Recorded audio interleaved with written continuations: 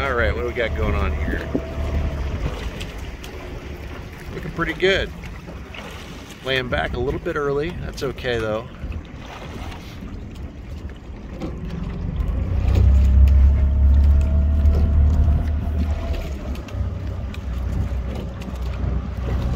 Trying to keep nice relaxed hands.